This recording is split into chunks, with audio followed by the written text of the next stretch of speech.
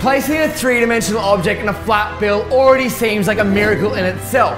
Imprint by Jason Yu did exactly that when it became one of the most visual effects to ever hit the market. Oh my god, what the But what do you do after performing such an impossible feat?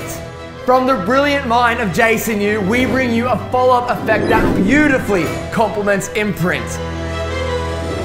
This is Extract.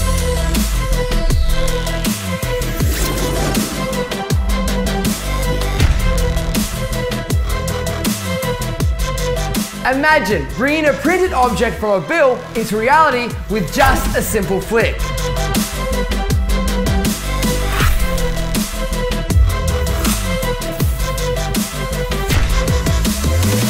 You can even perform Extract as a standalone effect.